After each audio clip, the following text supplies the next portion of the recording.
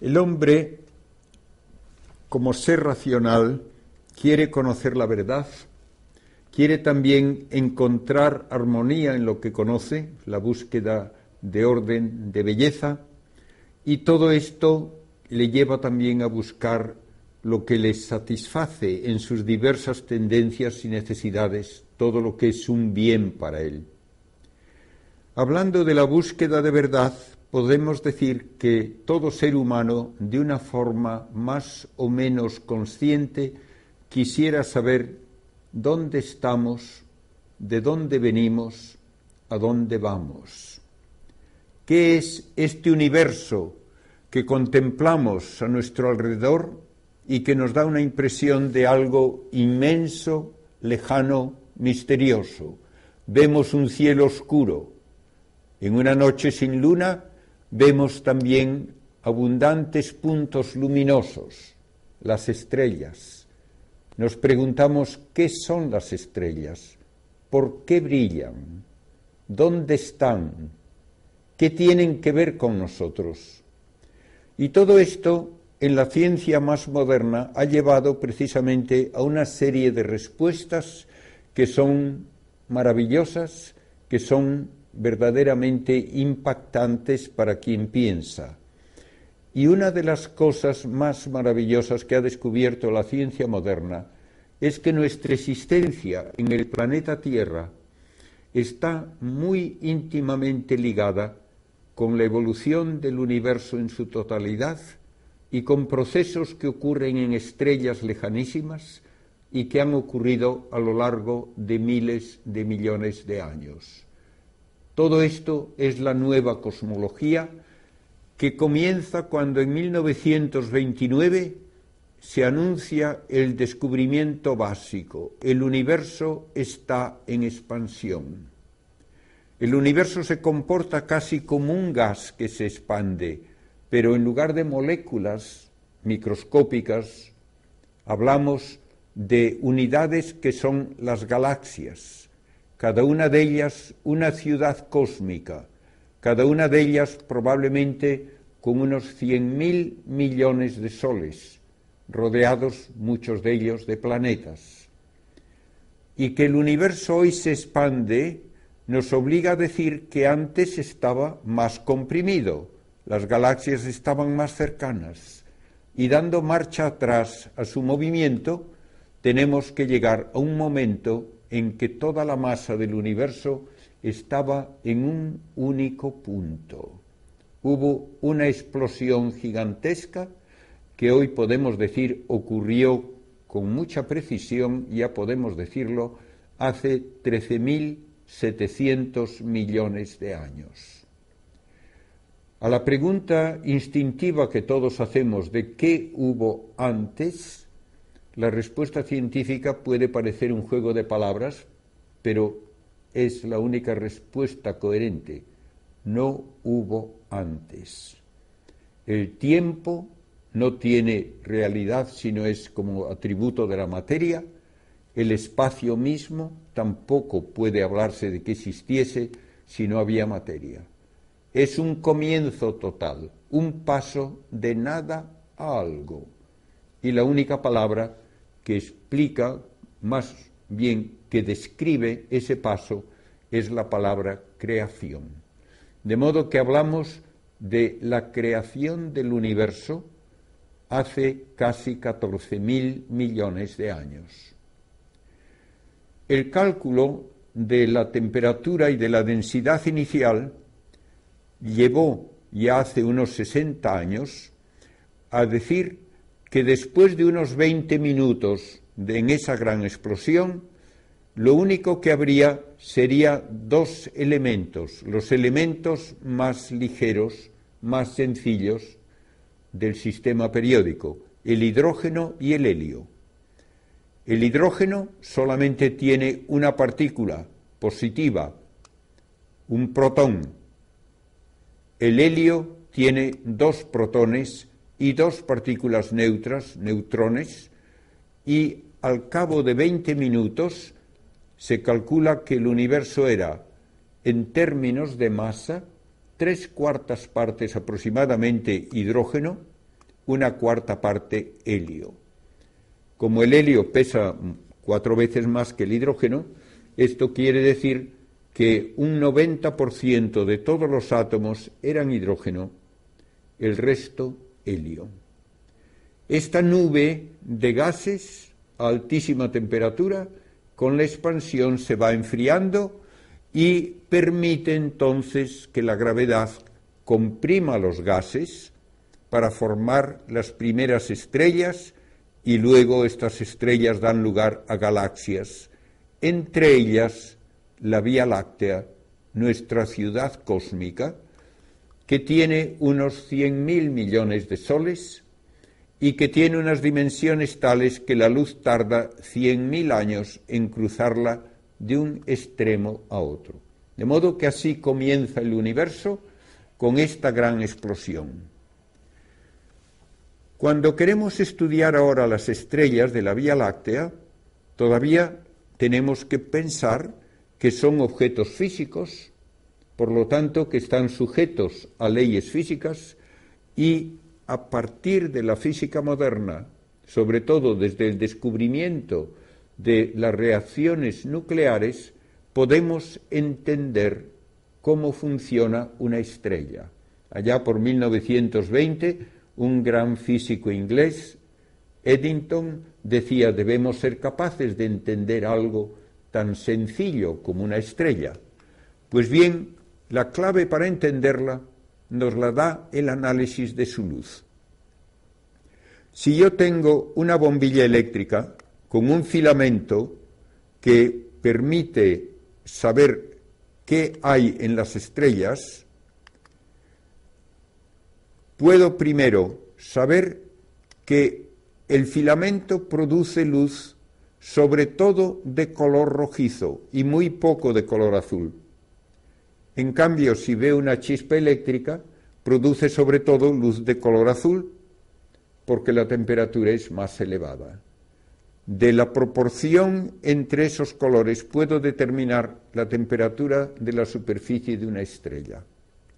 Si tengo un tubo fluorescente con gases a alta temperatura, se producen líneas de diversos colores, pero las líneas mismas son como la huella dactilar de los elementos que hay en el gas.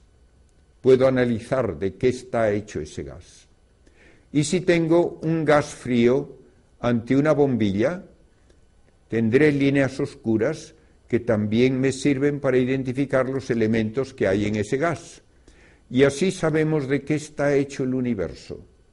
Y sigue siendo casi exclusivamente hidrógeno y helio. Todo lo demás apenas cuenta. Curiosamente, la Tierra apenas tiene hidrógeno y helio. El helio solo lo suficiente para hacer unos globos de feria. El hidrógeno podemos pensar que hay mucho en el agua del mar, pero si yo tuviese un globo terráqueo de unos 30 centímetros de diámetro, todo el mar sería simplemente la capa de barniz. Por tanto, la Tierra es elementos poco comunes. El elemento más impresionante de la Tierra, por su abundancia, es el hierro. Una tercera parte de la masa de la Tierra es hierro. Si yo hiciese un pozo hasta el centro de la Tierra, al llegar a la mitad del radio me encontraría con una esfera de hierro líquido a 4.000 grados de temperatura. Yendo más hacia el centro, la presión convertiría ese líquido en sólido y tendría una esfera de hierro sólido a unos 6.000 grados de temperatura y sin embargo el hierro ni siquiera aparece entre los elementos, los siete elementos más abundantes en el universo. Otra gran parte de la Tierra es el silicio. Tampoco aparece en esta tabla. Tenemos pues que preguntarnos cómo llega la Tierra a formarse y de dónde proviene el oxígeno y el carbono que son necesarios para la vida de dónde proviene el sodio, el calcio de nuestros huesos, todo esto nos lo ha tenido que explicar la ciencia moderna hablando de cómo evolucionan las estrellas de diversos tipos. Las estrellas más brillantes que conocemos son estrellas gigantes de color azul. Pueden brillar hasta casi un millón de veces más que el Sol. Las menos brillantes de color rojo pueden brillar solo una millonésima parte de lo que brilla el Sol. El Sol es una estrella mayor que el 90% de todas las demás estrellas. De modo que ya podemos hablar de que estamos alrededor de una estrella que no es común. Solo un 8% de las estrellas son como el Sol o un poco mayores. Pero estas estrellas evolucionan, producen energía, se forman primero por contracción de una gran nube que es casi todo hidrógeno y helio, la gravedad la comprime y un gas cuando se comprime se calienta. Cuando llega a una temperatura de unos 10 millones de grados en el centro, entonces se dan reacciones nucleares que convierten más hidrógeno en helio. Y durante un 90% de su existencia, la estrella mantiene una luminosidad casi constante, pero finalmente terminará su combustible, tendrá una transformación de estructura que la convierte en lo que llamamos una gigante roja y finalmente se apaga. Todo esto es lo que hace una estrella típica como el Sol. En el centro del Sol la temperatura es de 15 millones de grados y cada segundo 800 millones de toneladas de hidrógeno se convierten en helio. La luz y calor que recibimos tarda casi un millón de años en ir desde ese centro hasta la superficie y luego ya la recibimos en la Tierra, no como lo que era originalmente rayos X y rayos gamma, sino como luz visible.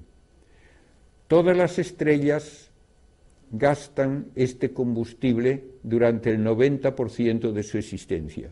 Pero las estrellas mucho más masivas que el Sol, que se forman mucho más a prisa también, se agotan en poco tiempo. Dos millones y medio de años es muy poco tiempo comparado con lo que ha necesitado la Tierra para formarse y la vida para aparecer.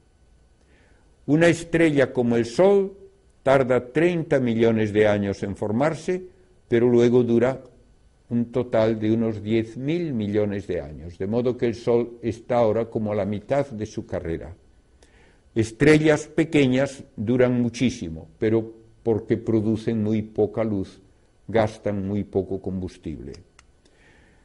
Cuando la temperatura interna, tal vez dentro de unos mil millones de años, en el caso del Sol, vaya aumentando hasta llegar a 100 millones de grados, se dará una reacción en que tres núcleos de helio se combinan con una fase intermedia que dura fracciones de segundo de berilio y de esos tres núcleos de helio se forma un núcleo de carbono.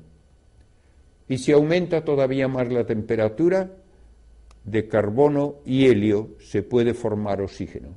De modo que el oxígeno que respiramos y el carbono que forma la base de las moléculas vivientes es el resultado de estas reacciones nucleares en estrellas que durante millones y millones de años gastan su combustible y terminan apagándose, produciendo una especie de núcleo superdenso de carbono cristalizado, como del tamaño de la Tierra, pero de tal densidad que si trajese aquí un trozo del centro del tamaño de un terrón de azúcar, aquí pesaría 50 toneladas.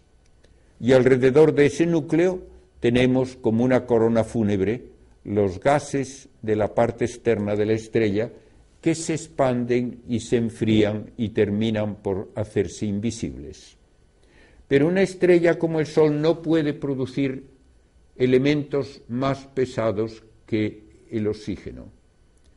En cambio, como he dicho antes, la Tierra tiene una parte importantísima, una tercera parte de su masa en forma de hierro. El hierro solo se puede sintetizar a una temperatura de 3.000 millones de grados y solo las estrellas de mayor tamaño, que son muy escasas, pueden hacerlo. Las gigantes azules, que tienen una masa de más de cuatro veces la del Sol y que son menos del 1% de todas las estrellas, pueden dar lugar a esas reacciones. Y entonces tenemos una estrella con capas ricas en hidrógeno y helio, luego nitrógeno, carbono y oxígeno, finalmente silicio, azufre y hierro. Y estas estrellas terminan su existencia con una enorme explosión que las destruye en unos segundos. Durante ese periodo de tiempo tan breve hay un exceso de energía y se producen todos los elementos del sistema periódico y se esparcen en el espacio los que se han producido antes.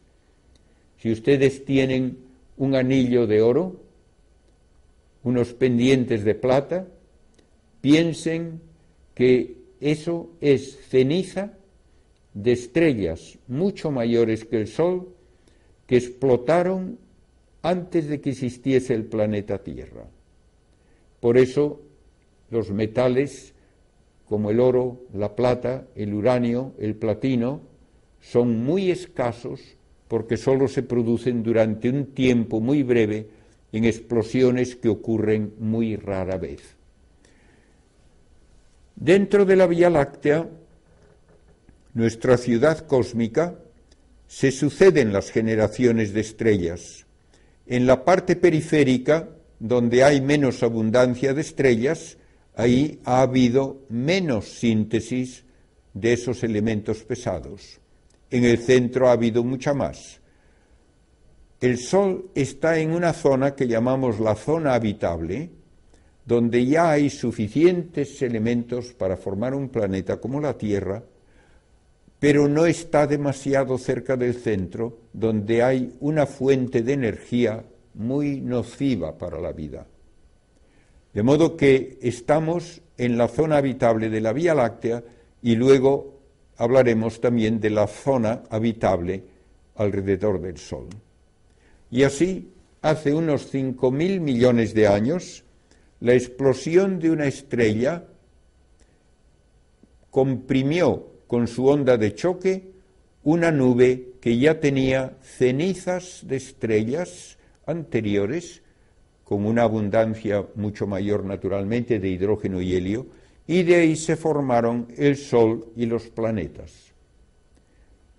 Podemos, pues, reconstruir el origen de la Tierra hablando de una nube de gas y polvo, que se contrae, que forma remolinos, que tiene toda clase de choques de partículas entre sí, alrededor de un Sol naciente. Cerca del Sol la temperatura era muy elevada, ahí no se podían condensar gases, solo se podían condensar materiales que resisten el calor, compuestos metálicos, y esos eran muy escasos. Lejos del Sol la temperatura permitía que se condensasen los gases y entonces, como los gases eran abundantes, tenemos una explicación de los planetas que hay en nuestro sistema cerca del Sol cuatro planetas de pequeño tamaño, pero sólidos y de alta densidad. Mercurio y Venus, los más cercanos al Sol, Marte, el más lejano de esos planetas de tipo terrestre. Lejos hay otros planetas de tipo Júpiter que son sobre todo gas.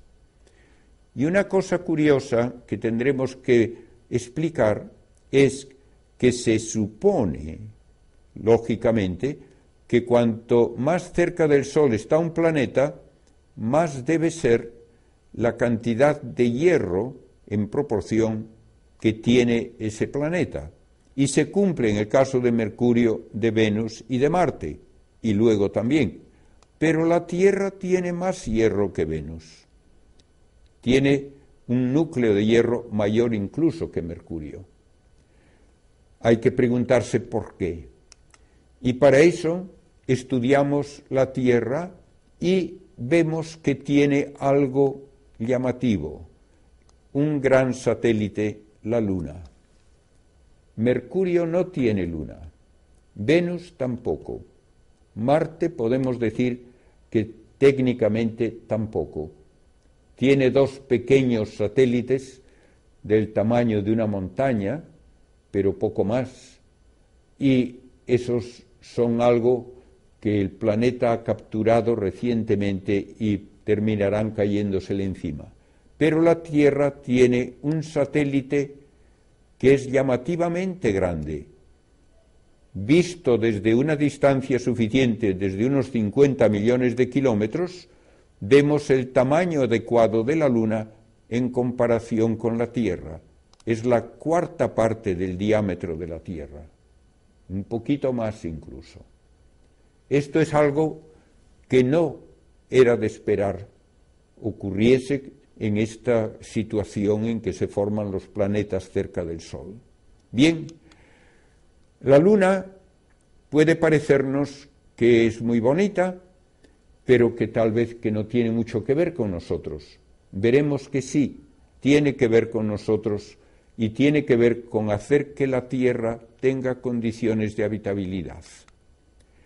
La Luna, curiosamente, da lugar a un fenómeno que no se encuentra en ninguna otra situación de satélite y planeta del sistema solar. Puede darse un eclipse total de Sol en que la Luna cubre totalmente el disco del Sol y permite ver la corona. La Luna es 400 veces más pequeña en diámetro que el Sol, pero está 400 veces más cerca, con lo cual coincide el tamaño aparente de los dos astros. Esto no ocurre en ningún otro sitio. ¿Es importante eso para nosotros? Realmente no es una cosa que influye en nuestra vida ni en la Tierra como planeta habitable, pero es un espectáculo verdaderamente hermoso y ha sido también uno de los factores para el desarrollo de la ciencia de la astronomía. La Tierra tiene abundancia de diversos climas, de diversas situaciones. Podemos ver, por ejemplo, la Antártida totalmente cubierta de hielo, siempre a temperaturas por debajo de cero grados. Allí el hielo no puede fundirse, porque el hielo solo se funde si la temperatura está por encima de los cero grados. Cada vez que cae nueva nieve en el centro, y produce nuevas capas de hielo, la presión de esas capas de hielo empuja los hielos anteriores hacia el borde y cuando llegan al borde del continente se caen al mar. Y eso es lo que observamos constantemente, que el hielo se está desprendiendo por la presión de nuevas capas de nieve y hielo en el centro. La Tierra tiene agua en estado líquido, no solo sólido, y podemos ver el delta de un gran río en Siberia, el Lena. Tiene también desiertos. Hay una variedad enorme de climas y de formas de la corteza terrestre. Desiertos donde apenas hay una gota de agua como no sea por la condensación durante la noche de un poco de humedad que llega del océano. El fondo del océano nos aparece también en aguas de poca profundidad como labrado por corrientes que llevan el calor desde los trópicos hasta las zonas más extremas de la Tierra, las zonas cerca de los polos. Es pues la Tierra un planeta dinámico, en constante cambio, donde las diferencias de temperatura entre el Ecuador y las zonas polares hace que se produzcan estos enormes ciclones que pueden cubrir de nieve en poco tiempo una isla entera como Islandia, que pueden causar también enormes destrozos en zonas pobladas y todos los años sabemos que hay este tipo de fenómeno. El interior de la Tierra, que no nos parece tampoco tener mucho que ver con nuestra vida, sin embargo, es algo importante para que la Tierra sea habitable a largo plazo. El núcleo de hierro de la Tierra, que he indicado está a temperatura de miles de grados, hace que las rocas inmediatamente sobre el núcleo tengan una cierta consistencia pastosa y la roca caliente va hacia la superficie mientras la roca fría vuelve a caer hacia el centro. Estas corrientes de roca presionan contra la corteza terrestre, que es muy delgadita, unos 30 kilómetros nada más de espesor y esa presión rompe la corteza terrestre en placas y esto produce un cambio constante de la distribución de terrenos secos y de cuencas oceánicas. Estas placas se van moviendo. Muy pronto se dieron cuenta los geógrafos de que Sudamérica encaja en el Golfo de Guinea, en África, y encaja Norteamérica, en Europa y Asia. Donde estas placas chocan, tenemos entonces fenómenos importantes de reestructuración de toda la corteza. A lo largo de cientos de millones de años ha cambiado el mapa de la Tierra. Hace 210 millones de años teníamos un único continente, Pangea. Ahora sigue separándose América de Europa y Asia y África, y el Océano Atlántico está creciendo a razón de unos 3 centímetros por año. Donde chocan placas, se arrugan y se producen cadenas de montañas. Y ahí también se producen fenómenos volcánicos. Una placa bajo otra, por fricción, funde las rocas y salen gases y sale roca líquida a la superficie. Y esto hace que se esté renovando constantemente la corteza terrestre y también la atmósfera. La primera atmósfera de la Tierra probablemente era el resultado de la emisión de gases por los volcanes, sobre todo anhidrido carbónico. Esta fue la primera atmósfera que tuvo nuestro planeta. ¿De dónde viene el oxígeno? Viene casi exclusivamente de las plantas, que con el pigmento verde que llamamos clorofila pueden atrapar la energía de la luz del sol y usarla para combinar anhidrido carbónico y agua, formando celulosa, azúcares, hidratos de carbono, y en ese proceso se desprende oxígeno. Y así podemos rehacer la historia de la Tierra, de la atmósfera terrestre, a partir de hace unos 4.500 millones de años. La atmósfera era solo anhidrido carbónico, no había oxígeno, no había tampoco metano. La cantidad de anhidrido carbónico ha fluctuado, pero ha ido descendiendo hasta que apenas hay ahora anhidrido carbónico. Unas 350 partes por millón, nada más. En cambio, el oxígeno, que no existió durante más de 2.500 millones de años, ha ido aumentando y aumentando hasta que hoy el oxígeno es un 28% de la atmósfera. El metano ha sufrido también una evolución de aumentar mucho hasta hace unos 2.500 millones de años y luego ha disminuido. Una cosa digna de notarse es que hubo una época, hace unos 1.500 millones de años, en que había gran cantidad de anhidrido carbónico y era una época glacial. La Tierra estaba cubierta de casquetes de hielo en la mayor parte de su superficie. Todo esto hay que tenerlo en cuenta si queremos entender por qué la Tierra es habitable y qué factores influyen en que sea habitable. El anhidrido carbónico, pero sobre todo el vapor de agua, atrapa el calor del Sol, penetra la atmósfera la radiación solar, se absorbe parte de la energía en la Tierra, se reemite un poco de esa energía y parte se pierde en el espacio, pero otra parte vuelve a Tierra porque el anhidrido carbónico y el agua no son perfectamente transparentes a la energía calorífica.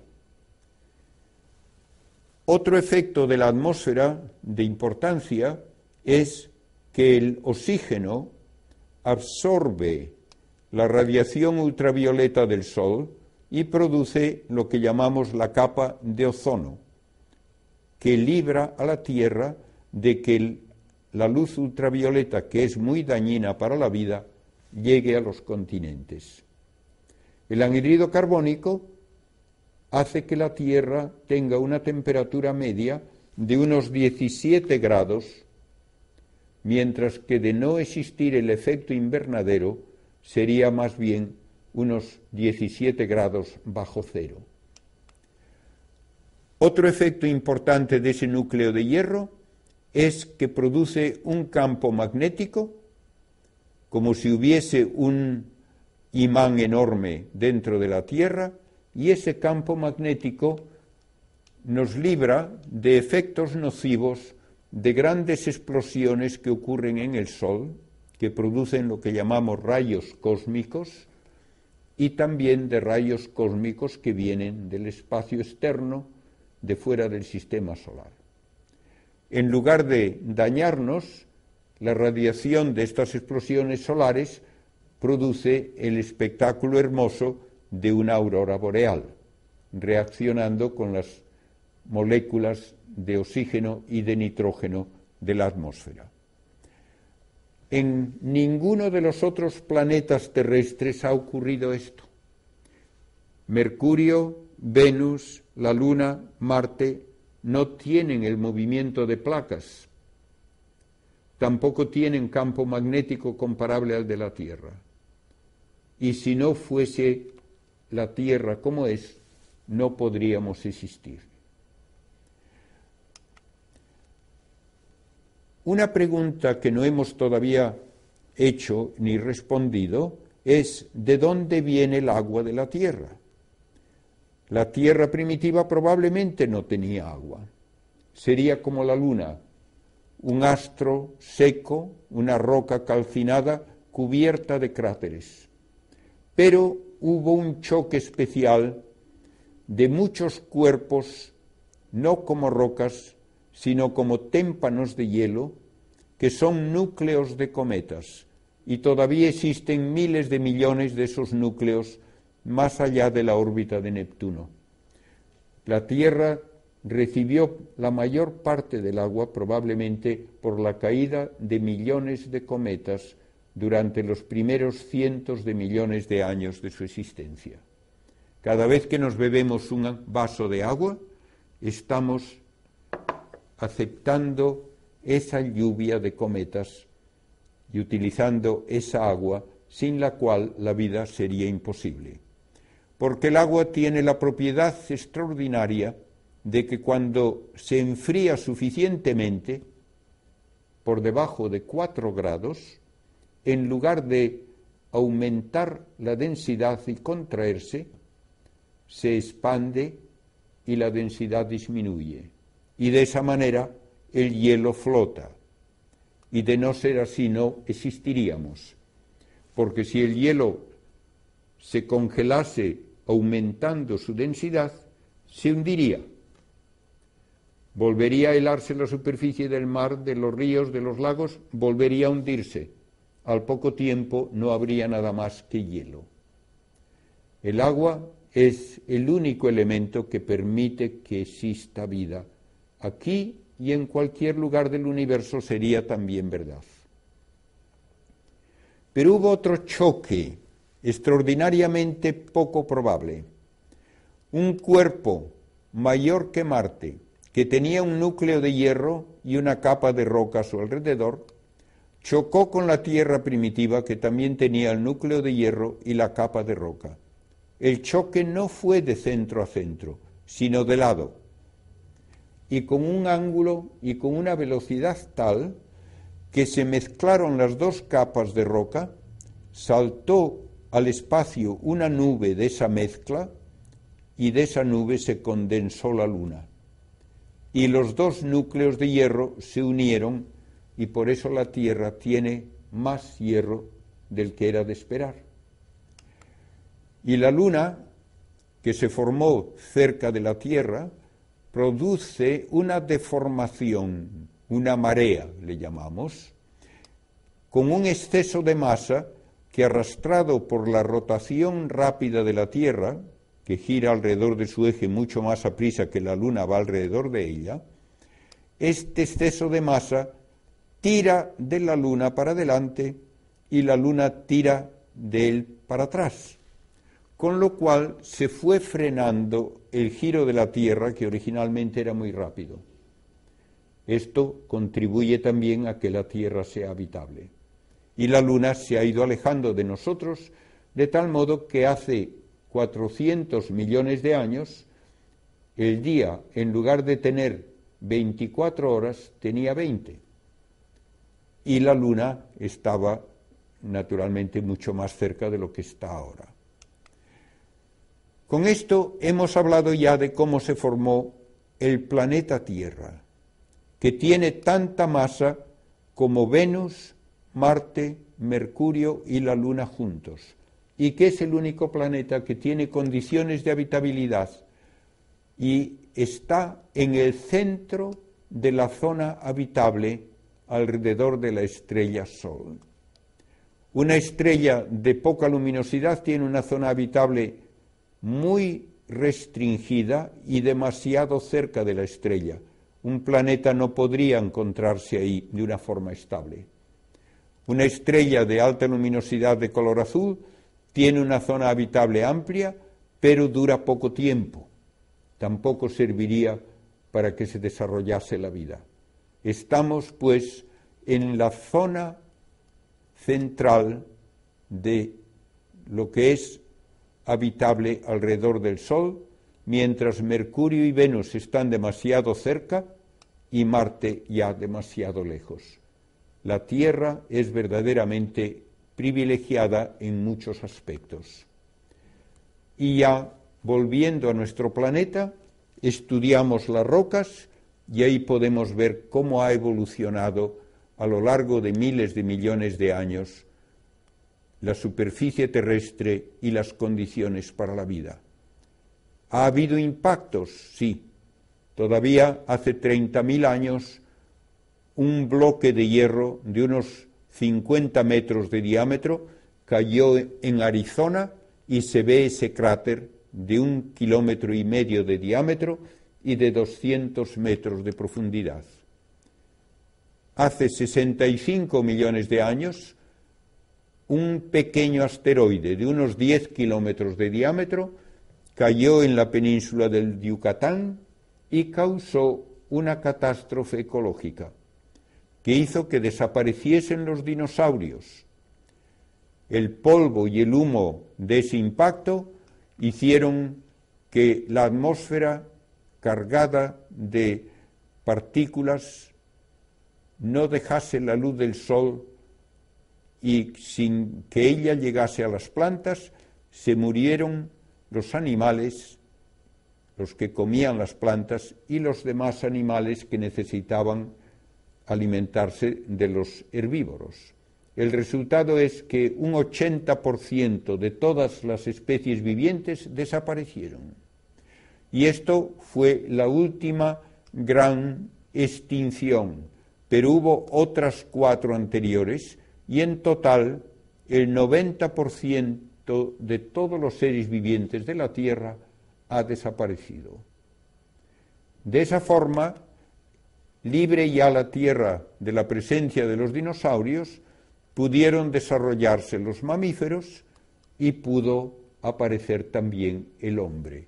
Todo esto gracias a una evolución que se ha dado durante miles de millones de años, pero con un paso cada vez más acelerado. Los primeros tres mil millones de años de vida en la Tierra solo había microbios. Después aparecieron los seres visibles a simple vista cuando ya había suficiente oxígeno en la atmósfera. Y dentro de todo el universo, que contiene probablemente cien mil millones de vías lácteas, esto ha ocurrido solo en el último momento, podríamos decirlo así. El hombre está a la mitad de camino en cuanto a tamaño entre los grandes cúmulos de galaxias y el núcleo del átomo. No es ni demasiado grande ni demasiado pequeño. Y si ahora queremos ver esto en el tiempo, pensemos en un calendario en que hay 365 días desde el comienzo del universo hasta ahora. El universo comenzó el 1 de enero. Cada día representa 40 millones de años. Solamente al final nos encontramos con que dentro de un universo hecho con gran cuidado, con número y medida, como decía la Biblia, en el último día del año, el 31 de diciembre, a las 11 de la noche y 59 minutos y 30 segundos tenemos la edad de piedra, tenemos hace 5 segundos el nacimiento de Cristo, hace solo un segundo el renacimiento y el comienzo de la ciencia moderna.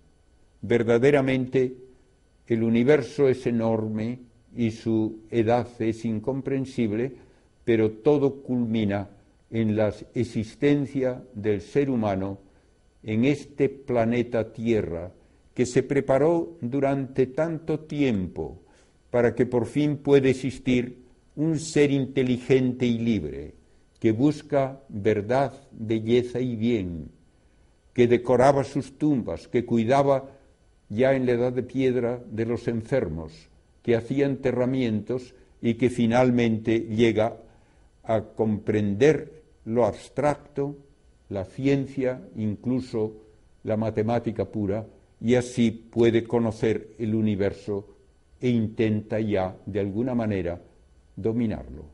Como ven, la historia de nuestro planeta es verdaderamente admirable.